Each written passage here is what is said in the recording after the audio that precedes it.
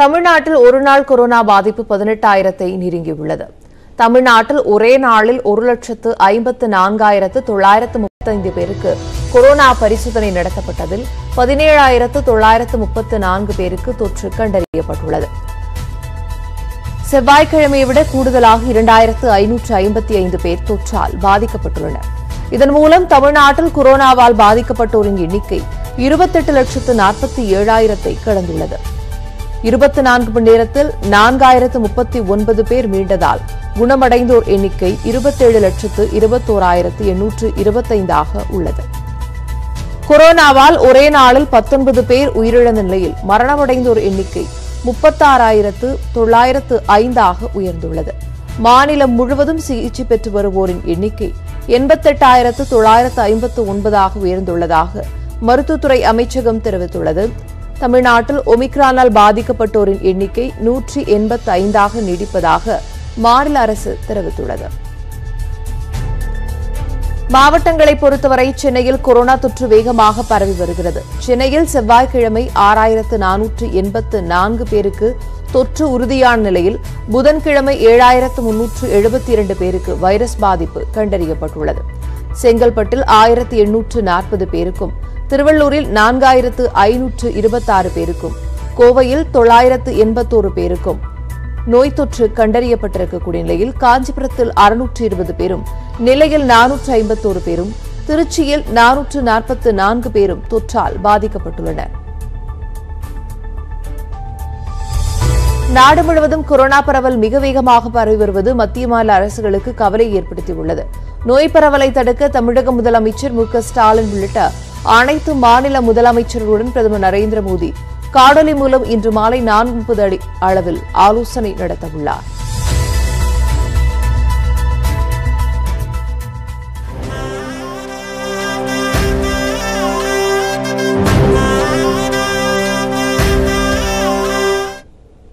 புதுக்கோட்டை மாவட்டம் கந்தர்வக்கோட்டை அருகே உள்ள தச்சங்குறிச்சியில் இன்று ஜல்லிக்கட்டு போட்டி நடைபெற உள்ளது கிறிஸ்துமஸ் மற்றும் புத்தாண்டு விழாவை முன்னிட்டு ஆண்டுதோறும் ஜனவரி ஒன்றாம் தேதி இங்கு ஜல்லிக்கட்டு போட்டி நடத்தப்படுவது வழக்கம். அதன்படி இந்த ஆண்டு ஜல்லிக்கட்டு நடத்துவதற்கு மாவட்ட நிர்வாகத்திடம் அனுமதி கோரப்பட்டது. ஆனால் கொரோனா முன்னெச்சரிக்கையுடன் தச்சங்குறிச்சியில் வியாழக்கிழமை ஜல்லிக்கட்டு போட்டி நடத்துவதற்கு அனுமதி வழங்கப்பட்டது. இதையடுத்து ஜல்லிக்கட்டு போட்டிக்காக மேடை தடுப்பு வேலிகள் வாடிவாசல் அமைத்தல் உள்ளிட்ட பணிகளில் விழா ஏற்பாட்டாளர்கள் தீவிரமாக ஈடுபட்டனர். காவல்துறை வருவாய்த்துறையினரும் பாதுகாப்பு மற்றும் முன்னெச்சரிக்கை நடவடிக்கைகள் குறித்து ஆய்வு செய்தனர். பதிமூன்றாம் தேதி எங்களுடைய கிராம எல்லோரும் சேர்ந்து மக்கள் ஒற்றுமையாக எல்லாம் சேர்ந்து டொன்போஸ்கோ மன்றத்தினுடைய தலைமையிலே இந்த விழாவை கிறிஸ்துமஸ் புத்தாண்டு விழாவை ஜல்லிக்கட்டு விழா கொண்டாடி கொண்டிருக்கிறோம். மதுரையில் நடைபெறவுள்ள ஜல்லிக்கட்டு போட்டிகளில் பங்கேற்பதற்கு நான்காயிரத்து ஐநூற்று முப்பத்து நான்கு மாடு உரிமையாளர்களுக்கும் ஆயிரத்து தொள்ளாயிரத்து தொன்னூற்று ஒன்பது மாடுபிடி வீரர்களும் என மொத்தம் ஆறாயிரத்து ஐநூற்று முப்பத்தி மூன்று பேர் விண்ணப்பித்துள்ளனர். பொங்கல் பண்டிகை முன்னிட்டு அவனியாபுரத்தில் வரும் பதினான்காம் தேதியும் பாலமேட்டில் பதினைந்தாம் தேதியும் அலங்காநல்லூரில் பதினேழாம் தேதியும் ஜல்லிக்கட்டு போட்டி நடைபெறவுள்ளது. ஜல்லிக்கட்டில் பங்கேற்கும் வீரர்கள் மற்றும் காளைகளுக்கான முன்பதிவு ஆன்லைன் மூலமாக செவ்வாய்க்கிழமை மாலை ஐந்து முப்பது மணிக்கு தொடங்கி விறுவிறுப்பாக நடைபெற்று வந்தது. இந்நிலையில் ஜல்லிக்கட்டில் பங்கேற்பதற்கான முன்பதிவு புதன்கிழமை மாலை ஐந்து மணியுடன் நிறைவடைந்தது. இதன் முடிவில் நான்காயிரத்து ஐநூற்று முப்பத்து நான்கு மாடு உரிமையாளர்களுக்கும் ஆயிரத்தி தொள்ளாயிரத்து தொன்னூற்று ஒன்பது மாடுபிடி வீரர்களும் என மொத்தம் ஆறாயிரத்து ஐநூற்றி முப்பத்தி மூன்று பேர் விண்ணப்பித்திருக்கிறார்கள். ஒரு போட்டிக்கு இருநூறு மாடுகள் முன்னூறு வீரர்கள் மட்டுமே பங்கேற்க அரசு அனுமதி வழங்கியுள்ளது. இதைவிட பல மடங்கு பேர் போட்டிகளில் பங்கேற்க விண்ணப்பித்துள்ளதால் தகுதியானவர்களுக்கு வாய்ப்பு கிடைக்குமா என்ற கேள்வி எழுந்துள்ளது. எனினும் விண்ணப்பித்திருப்பவர் வீரர் மற்றும் மாடுகளின் தகுதிகளை ஆராய்ந்து தகுதியான நபர்களை மாடுகளை இறுதி செய்யும் பணிகளில் கால்நடைத்துறை அதிகாரிகள் வருவாய்த்துறை அதிகாரிகள் ஈடுபட்டுள்ளனர். தகுதிகளின் அடிப்படையில் தேர்வு செய்யப்படும் விண்ணப்பங்கள் குலுக்கல் முறையில் எந்த போட்டியில் பங்கேற்பது என முடிவு செய்யப்பட உள்ளது.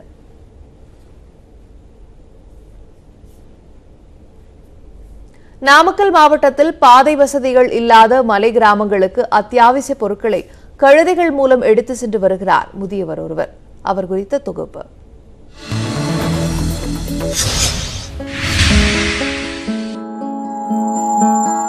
விண்ணில் சென்று சாதிக்கும் அளவுக்கு தொழில்நுட்பம் அபரிமிதமாக வளர்ந்துள்ள போதிலும் நாட்டின் சில பகுதிகளில் சாலை வசதிகளே இல்லாத நிலையே நீடிக்கிறது.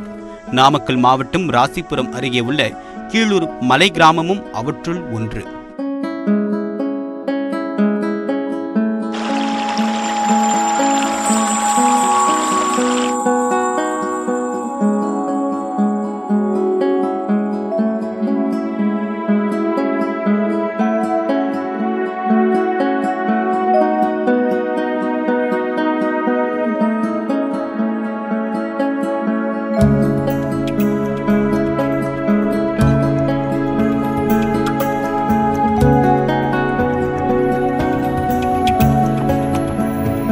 வெண்ணந்தூர் ஊராட்சி ஒன்றியத்திற்குட்பட்ட இந்த மலை கிராமத்தில் கெடமலை மேலூர் என்று பல்வேறு குக்கிராமங்கள் உள்ளன. முன்னூற்றி ஐம்பதற்கும் மேற்பட்ட குடும்பங்களில் இரண்டாயிரத்து ஐநூறுக்கும் அதிகமானோர் வசித்து வருகின்றனர். இந்த மலை கிராமத்திற்கு பத்து கிலோமீட்டர் தொலைவுக்கு ஒற்றையடி பாதையில் நடந்து செல்ல வேண்டும். ரேஷன் கடையில் பொருட்களை வாங்குவதாக இருந்தாலும் மருத்துவமனைக்கு செல்வதாக இருந்தாலும் நடராஜா சர்வீஸ் தான். அவசர சிகிச்சை என்றால் தொட்டில் கட்டியே நகர்ப்புறங்களில் உள்ள மருத்துவமனைக்கு கொண்டு செல்ல வேண்டும். ஆனால் அத்தியாவசிய பொருட்கள் மட்டுமே கிராமத்திற்கு நேரடியாக வருகிறது. இதற்கு முக்கிய காரணம் அறுபத்தி ஐந்து வயது ராஜேந்திரனும் அவருடைய வாயில்லா ஜீவன்களும். தருமபுரி மாவட்டத்தை சேர்ந்த ராஜேந்திரன் தருமபுரியில் உள்ள பாலமலை சேலத்தில் உள்ள ஜருகுமலை பகுதிகளுக்கு பொருட்களை கழுதை மூலமாக கொண்டு செல்லக்கூடிய பணியில் ஈடுபட்டு வந்தார். அதை அறிந்து இங்குள்ள மக்களும் அவரிடம் உதவி கூறினர். அதை ஏற்று கழுதைகள் மூலமாக அத்தியாவசிய பொருட்களை மலைக்கு எடுத்து சென்று வருகிறார். தான் வளர்த்து வரக்கூடிய எட்டு கழுதைகள் மூலமாக அரிசி சிமெண்ட் எம்சான் உள்ளிட்டவற்றை எடுத்து செல்கிறார். பொருட்களை எடுத்து செல்ல ஐம்பது கிலோ எடைக்கு இருநூறு ரூபாய் வசூலிக்கிறார். இதற்கு பொதுமக்கள் வரவேற்பு அளிக்கக்கூடிய நிலையில் குழந்தைகள் கழுதை தாத்தா என்றே இவரை பாசத்துடன் அழைக்கின்றனர். ஐம்பது கிலோவுக்கு வந்து இரநூறு தராங்க. அதனால் வந்து நாங்கள் வந்து சம்பத்து மலை கடமலை ஓ இப்படி குறிஞ்சூர் ஒருவங்காடு பெரியூர் அப்படி பல ஊர் நடுக்காடு நடுவளவு இப்படி சொல்லக்கூடிய ஊருக்கெல்லாம் பொதுமக்களுக்கு நாங்கள் அரிசி போடுறோங்க. அவங்க வாங்கி போகிற பொருள் அனைத்துமே கொண்டு மேலே போடுறோங்க. அரிசி சிமெண்ட்டு எம்செண்டு இப்படி பலதாய் இதெல்லாம் கொண்டு போடுறோங்க. பள்ளிக்கூடத்துக்கு தேவைப்பட்ட பொருள் போடுறோங்க. இதான் எங்கள் பொழப்புங்க. பொதுமக்கள் வந்து வர வரவேற்பு தராங்க. போட்டுங்கன்ட்டு. முன்னோர் விட்டுச் சென்ற பணியை தொடர்ந்து வருவதாகவும் இந்த பணியில் ஈடுபட தற்போதைய இளைஞர்கள் முன்வருவதில்லை என்றும் ராஜேந்திரன் வருத்தத்துடன் கூறுகிறார்.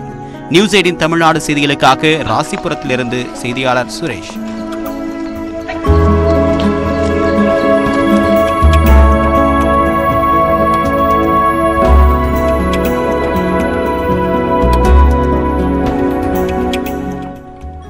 மற்ற செய்திகள் இடைவேளைக்கு பிறகு.